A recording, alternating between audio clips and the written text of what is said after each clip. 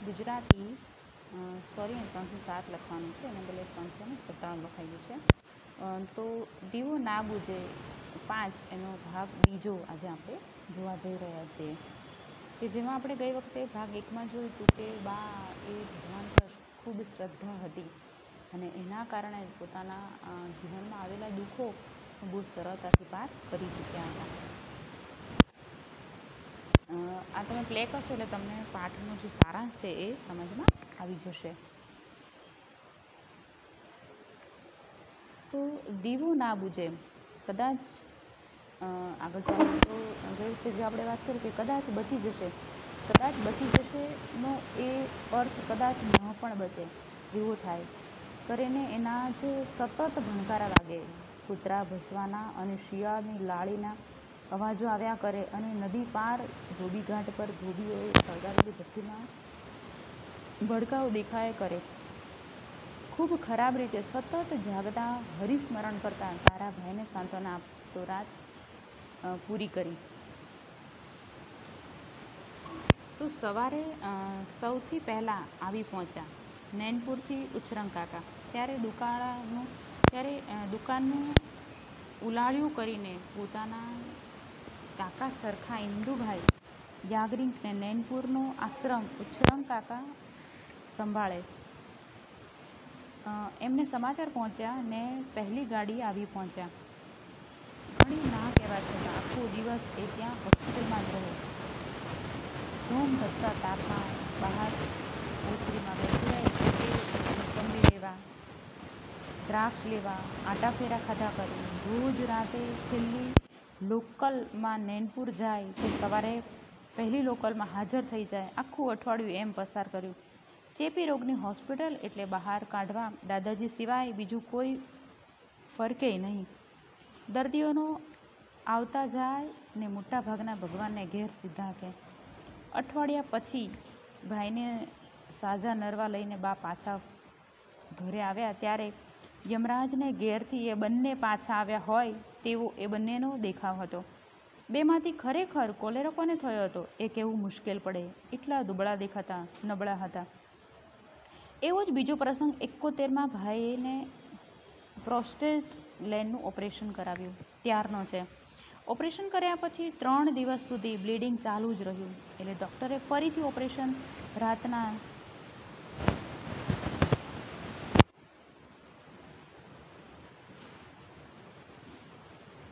ખોલી નાખ્યું રાતના બાર વાગે એમને બંને ભાઈઓને અંદર બોલાવી ડૉક્ટરે કહી દીધું કે સેકન્ડરી હેમરેજ છે, કોઈ ઉપાય નથી. જે સગાવાલોને બોલાવવા હોય તેને બોલાવી દો. બહાર ઊભેલા બાને આ વાત એવી રીતે કરવી, કેવી રીતે કરવી એ અમે ગૂંચવાતા હતા. આખરે વાત તો કરી. બાએ બધા સગાવાલાને તાર ટેલિફોનથી ખબર આપવા માટે નીકળતા મને સૂચના આપી. એક અર્જન્ટ વાયર બ્લેસિંગ માટેનો મારા પ્રણામ સાથે મધરને પોંડિચેરી કરી દેજે રાતનો એક વાગ્યો હશે. બા, ઓપરેશનના થિયેટરની બહાર ઊભા ઊભા ઊભા ઓ mother I am your poor daughter વાળી એમની પ્રાર્થના કરુણ સ્વરે કરતા હતા. બહેનો અને વહુઓ રડતી હતી. એમને સાંત્વના આપતા હતા ને હું વાયર કરવા નીકળ્યો. બધાને તાર ટેલિફોન કરીને સવારે ચાર વાગે હું પાછો હોસ્પિટલમાં પહોંચ્યો.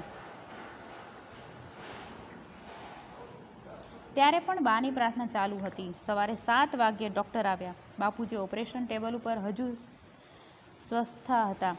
તે જોઈ આનંદમાં આવી ગયા. લેટ અસ ટ્રાય અગેન કહીને એ કલાકે મથ્યા અને બાપુજી બચી ગયા. સાંજે એક અર્જન્ટ વાયર આવ્યો. બ્લેસિંગ મધર એટલું લખેલું. એના ઉપર સમય લખેલો સવારના સાત. હિત હિંમતપૂર્વક આખા દિવસ દરમિયાન એક આંસુનું ટીપું પણ પડવા અ, પડવા નહીં દીધેલું. તે બા છૂટે મોએ રડી પડ્યા.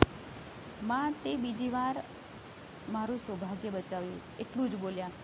એ પછી બાપુજી છેક સત્યોતેરમાં વર્ષે કૈલાસવાસી થયા.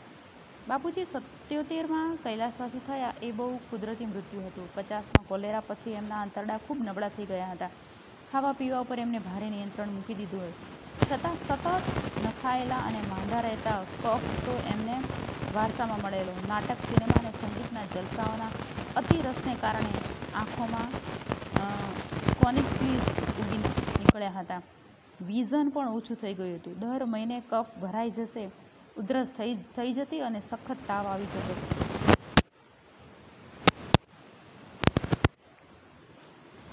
દરરોજ રાતે બાપુજીના પગ દબાવવાનો અડધો કલાક અમે બંને ભાઈઓને ફાળવ ફાળવતા. મારો જમણો પગ, નાના ભાઈનો ડાબો. આરામ ચેર પર બેસી સામે મોકલા ટેબલ ઉપર એક પગ લાંબા કરે અને ધીમે ધીમે દબાવતા જઈએ. રોજ રાતે એમને બામ ઘસવાની જવાબદારી બાની. રોજ સવારે માથામાં તેલ માલિશ કરી આપવાનું કામ મોટી બહેનનું.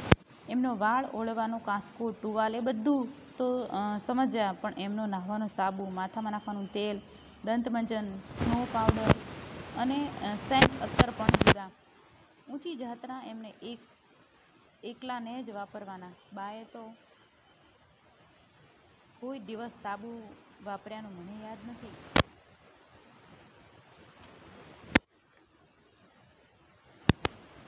માથાના વાળ પણ કપડાં ધોવાના સાબુથી ચોળી નાખે.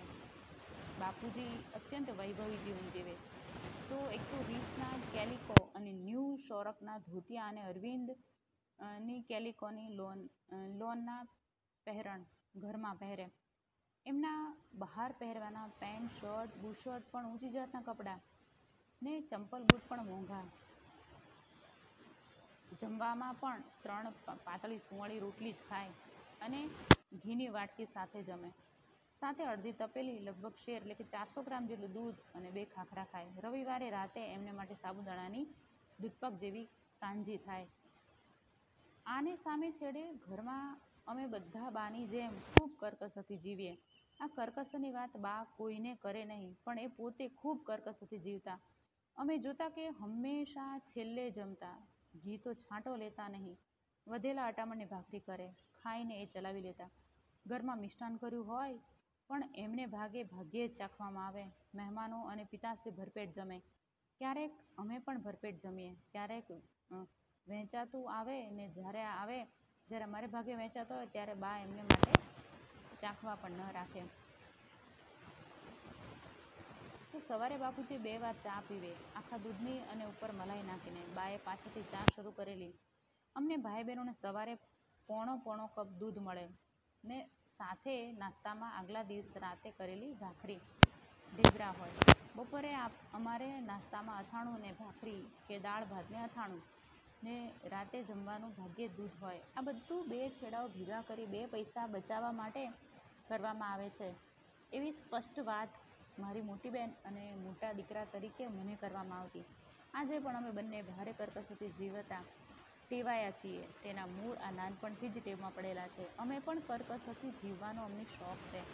સાદાઈથી જીવવામાં જ મહાનતા છે એવો બાને જેમ દેખાવ કરતા નાનપણથી જ થઈ ગયેલા. આવી સામસામી જીવનપદ્ધતિથી એક જ કુટુંબના સભ્યો જીવતા છતાં સમાજમાં મારા કુટુંબને ઘણી પ્રતિષ્ઠા મળી. બહાર બધા એમ માનતા કે અમે પૈસાદાર છીએ, પરંતુ ગાંધીવાદી હોવાથી અત્યંત સાદગીથી જીવીએ છીએ. ભદ્રકાળીના મંદિર સુધી વૈદ્યની દવા લેવા જવાનું હોય તો ચાલતા જવાનું. નાનપણથી જ અમે નિશાળે પણ ચાલતા જતા. મોટી બહેન રા બા મગનભાઈ, કરમચંદના આકાશતીર્થ કુંવાળી પોલ સુધી. કોલેજમાં ભણ્યો ત્યાં સુધી બાપુએ ત્રીસમાં ખરીદેલી ખટારા જેવી સાયકલ વાપરવામાં મેં આનંદ માન્યો છે. બા પોતાના સાલાની સીગડા સીગડા મારીને પહેરતા. છેક લગભગ બાપુજી જીવ્યા ત્યાં સુધી અમારા લહેંગાની ચડ્ડીઓ થીગડામાંથી ફાટે પછી જ એની ગોદડીઓ થતી. અમે પરણ્યા ત્યાં સુધી ફાટેલા કપડાં પ્યાલા-બરણીમાં આપવાનો રિવાજ જ નહિ. કદાચ એવા કપડાં લે કોણ? આજે મને સીવેલા અને થીગડા મારેલા કપડાં પહેરવાની નાનપ નથી આવતી. એનું કારણ બાનું સોનેરી સૂત્ર, થીગડા મારેલા પણ ચોખ્ખા કપડાં અને ઘરડા મા-બાપની શરમ આજે હવે હું દેખાવ ખાતર નહિ, કોઈ ફરજિયાત મજબૂરીને કારણે અહીં પણ એક સ્વભાવ પડી ગયેલો હોવાના કારણે કર્કશથી ને સાદગીથી રહું છું. તેના મૂળ નાનપણથી જ આ ટેવોમાં રહેલો છે. ભાઈ શાળાઓ, મિત્રો, બનેવીઓ અને હવે ભાણાઓ વાહન ઉપર લઈ જવાનો મૂકી જવાનો આગ્રહ રાખે તોય ચાલતા કે બસમાં જવાનો એક જાતની સ્વતંત્રતાનો જે આનંદ આવે છે તે નાનપણમાં ચાલવાની પુષ્કળ ટેવ પડી ગઈ તેના કારણે. તો આજુબાજુ બધા મોંઘવારી, કૂદકે ને ભૂસકે વધવાની બૂમો પાડે છે પણ મને ભાગ્યે જ એ વિશે વિચાર આવે છે. મિત્રો અને સગાવ્હાલા માન્યા કરે કે પિતાશ્રી ખૂબ પૈસાદાર મૂકીને મરી ગયા છે અને આ લોકો પૈસાદાર છે પણ સ્વભાવે કરકસર્યા હોવાને કારણે આવી સાદગીથી રહે છે. ઘણીવાર એમાંથી ઘણાને સાચી વાત કરું છું, પણ કોઈ સાચું માનતું નથી. શું થાય? કારણ દેખીતું છે કે મારા સિવાય મારા ઘરમાં બધા વળતી રહેવાની ટેવ છે. કરકસરથી રહેવાની ટેવ અને સ્વભાવ થઈ જવાનો ફાયદો બીજાઓને થયો થયો કે નહીં? હું કહી શકું નહીં, પરંતુ આર્થિક સામાજિક જવાબદારીઓ વધારવામાં બધા બંધનના મૂળ છે એમને મને સમજાવ્યું. ફાયદો અંગત રીતે મને ઘણો મોટો થયો છે. સગવડો વધારવાની ઈચ્છા, આર્થિક જવાબદારી અને પ્રતિષ્ઠા વધારવાની ઈચ્છા સામાજિક જવાબદારી વધારે છે. સુખનું સમીકરણ સગવડો સાથે કરવાનું હોય છે. તદ્દન મૂળભૂત જરૂરિયાતોને બદલે છેક પરીઘ ઉપરના મોજ શોખને પણ જીવન જીવવા માટે જરૂરી ગણવામાં આવે છે.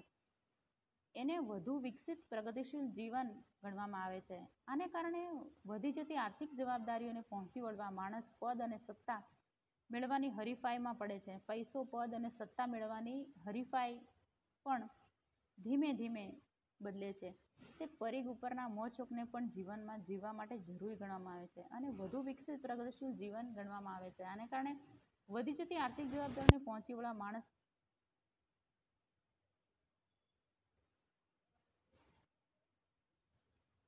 હરીફાઈ અંતહીન, અર્થહીન, દિશાહીન છે, તો સૌથી આગળ નીકળી જવા માટે દ્વેષ અને અજંપો આપોઆપ શમી જાય.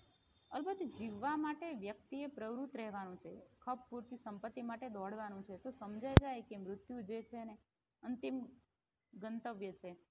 તેવી આ એક મેરેથોનથી મોટી દોડ છે, બધા દોડે છે, કારણ કે દોડમાં એમને જીવન દેખાય છે, પણ એકબીજાને આગળ નીકળી જવાની હરીફાઈ એક બાલિશ નશો છે. એ નશો જેને વળગે છે તો તે તે દોડતા દોડતા મોંમાંથી ફીણ નીકળી જઈને પ્રાણ નીકળી જાય છે. તેવી જૂની ગતિ પ્રાપ્ત કરવા મથે છે અને એ નશાથી જે દૂર રહી શકે છે તે જ આ અદાલતોને કારણે મળતો આનંદ ને સનગનાટ અને સંવાદિતાને એક ધીમો છતાં તાલબદ્ધ લઈ માણી શકે છે. તો આ રીતે આ પાઠમાં આપણે ખૂબ સરસ લેખકે કરેલી વાતને સમજી શક્યા છીએ.